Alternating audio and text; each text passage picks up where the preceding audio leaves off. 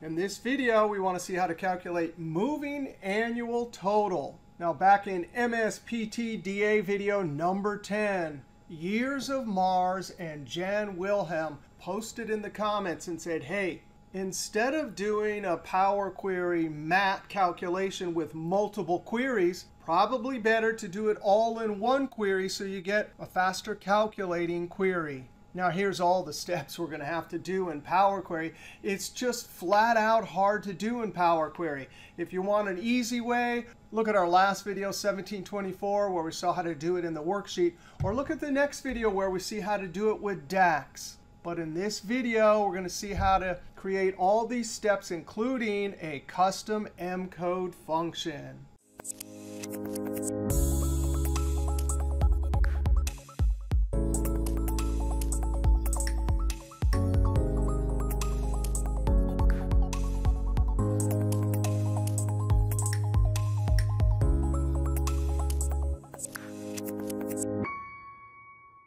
These steps right here constitute step one, where we're trying to get a cross join of all the products and all the end of the months. Then we create a key with the month and product to get monthly sales totals. Then we join the cross join of month and product with the monthly sales. And we're doing this rather than grouping by because some months have zero. And for those zero months, we still want our mat. Now, as we complete these steps, Sometimes a step will deliver a number or a list or a table. And we'll be working back and forth between the different steps. So this is going to be a great advanced M code video using mostly the user interface. Now I've imported the Excel table into the Power Query window. The name of the query is F sales.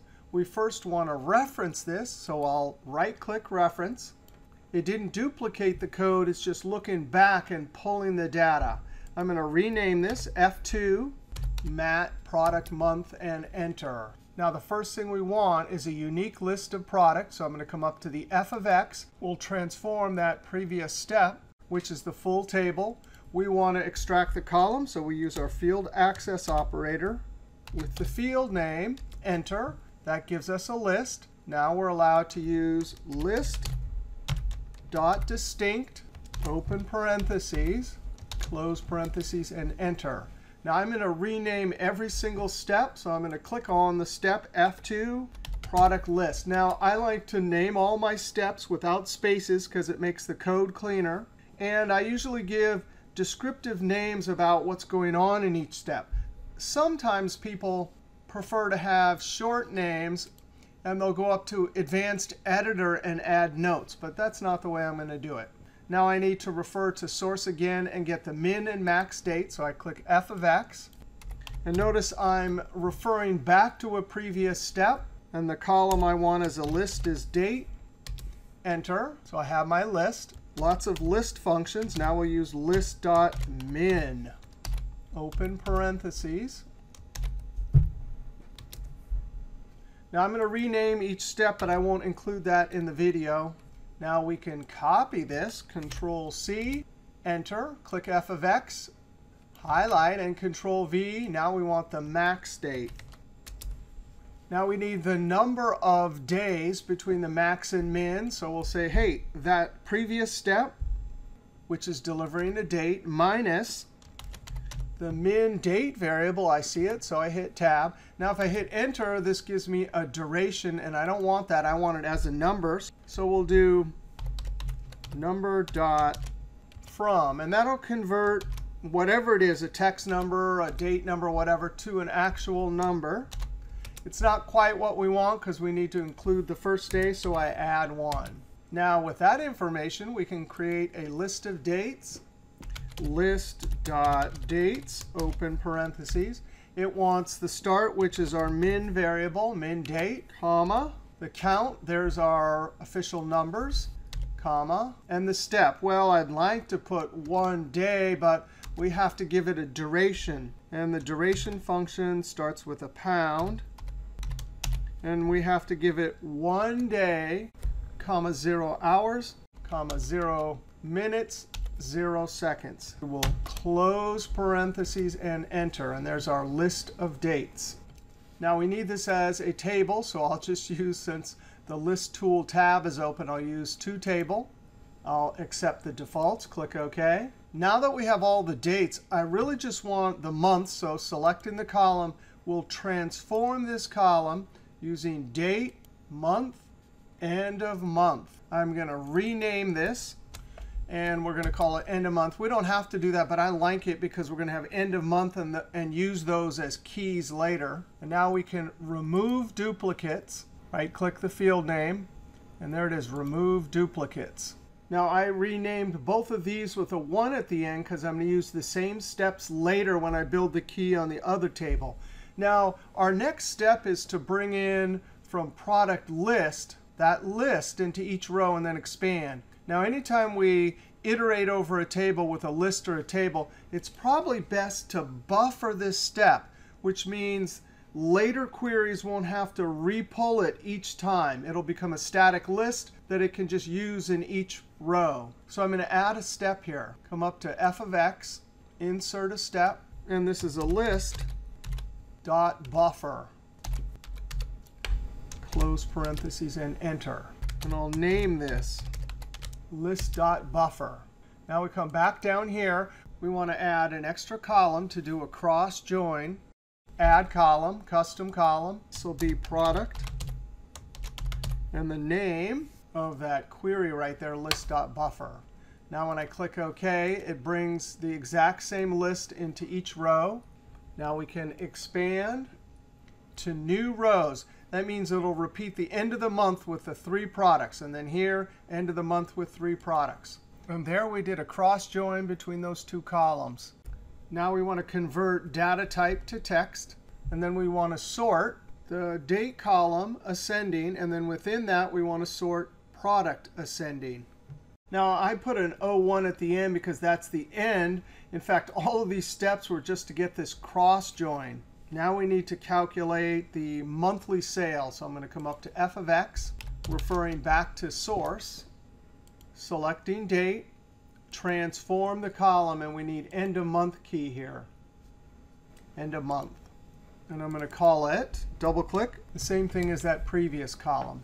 And I renamed those steps the same as the previous ones, but with a 2. Now I can group end of month, holding control product. Right click, group by. Those are the two columns. We'll call this monthly sales. The operation is sum on the sales column. Click OK. Now we need to join monthly sales with our cross join. And watch this. I'm going to F2 copy because I need that query name. And then selecting the last step, I click f of x. And the function is table dot nested join, which will do a left outer by default, open parentheses, the first table, control V, comma, then the key. There's two fields, so we use list syntax, curly brackets, in double quotes, and month, comma, and product, comma. And then there's the second table. And we have the same two fields. So in the fourth argument, there's the key, comma. And then the new name, this will end up being monthly sales because we're pulling monthly sales into the cross join table where we have products and months, including the months that have zero. So we'll end up with some nulls because there are some monthly sales that don't exist, but that's what we want. Close parentheses and enter. Now we get a table, and we only want monthly sales, so we can expand, uncheck everything. We only want monthly sales. Click OK. Now, I don't want that name, so I come up to the formula bar, and I'll alter what the table expand table column function calls that column. Now, we have some null values right there. And we want that null value because in the final table, we need to calculate MAT in a month when a particular product had no sales. So right click down to replace We'll find all lowercase null, and we'll replace it with 0. Click OK. Now we have a complete cross join of month product and our monthly sales. And for every single row in our mat column, we need to go backwards from whatever the month and product is and grab all the product monthly sales from above and add them to get the moving annual total. Now, when we do this, it's not like an Excel formula that can look at a reference inside this table in this extra column. We're actually going to have to bring the whole table and look at it in each row. Now, when we do that, that means each row is going to go back and pull the query and we don't want to have to pull the query each time. So for that step, we want to buffer the table. So I'll click f of x, table.buffer. That way, it'll grab it one time and use it over and over. Enter. And I'll name it table.buffer. Now we're going to add an extra column to do this. So we go to Add Column, Custom Column. We'll call this column MAT.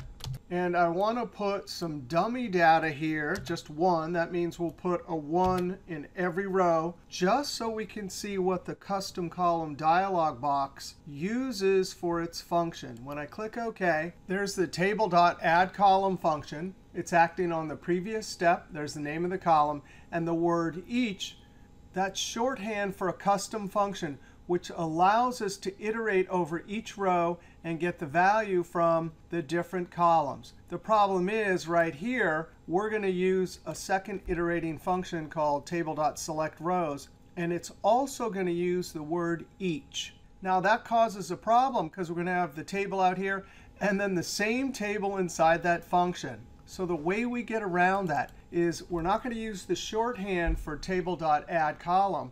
We're going to use a defined variable. You define a variable for a custom function inside of parentheses, and we'll call it x. In other videos, I've called it things like outside table or OT. And then after we use the goto operator, equal greater than, that means everything that comes after is the custom function that can use that variable. Now I'm going to come back up to the dialog box by clicking the gear icon. And we'll replace that one with table.selectRows, open parentheses, table.buffer. That's that'll be the inside table, comma. And this is where we create our function. And here we'll use the keyword each. That allows us to get at each row in that table. After each, we have three logical tests. The first is, and I'll use available columns over here because it's easier. I don't have to type it out. The each allows us to pull the product from the inside table. And I want to say when you're equal to, and I have to preface the outside product column with the x. And guess what? I can put it in by just double clicking there. So anytime we use an x, it gets the outside column. If we don't, then each will pull it from this table here. We use the AND logical test operator, the word AND in lowercase. Then we need to look at the date column twice. So I'll double click this for the inside table. And this will be the lower limit. So I want to say, hey, when you are greater than, and we do not have the 12 months back date we need for each row in the outside table, but no problem, we can use dates dot add, and there it is, months. Now look at that. Autocomplete is so bad inside of Power Query. Look at that, it did it up here too. Anyway, open parentheses x to get the outside end of month. I'm going to get tricky here and double click. And comma, I need to push that back 12 months. So minus 12, close parentheses. So that's checking the date on the inside table against the lower limit. And we need to check the date. Are you less than or equal to the upper limit, x, to get to the outside end of month column? And there's our three conditions, close parentheses. Now, when I click OK, we'll have trouble. Uh, Table.addColumns is trying to be polite. It put each back in there. But I'm going to delete it and enter. And now we have a filtered table. So that column right there is what we need to add for getting 12 months back for the Bellin product. To get at the column, we have to use our field access operator. So up in the formula bar, field access operator, monthly sales, and enter. Now we get a list. And to add those after the goto operator, list.sum. And that should be, when I hit Enter, our mat. And these are the same exact numbers we got in the last video when we use Excel worksheet function. And the same numbers we'll get in the next video when we use DAX formulas. Now I want to rename this. And now we can close and load, close and load to on the existing sheet. I'm going to put it F5, click OK. So that was a lot of fun with M code and Power Query. Next video, we'll use the same worksheet and do it here. We'll use DAX. All right, if you like that video, click that thumbs up, leave a comment, and subscribe because there's always lots more videos to come from is Fun. And if you want to check out some other videos, check these out.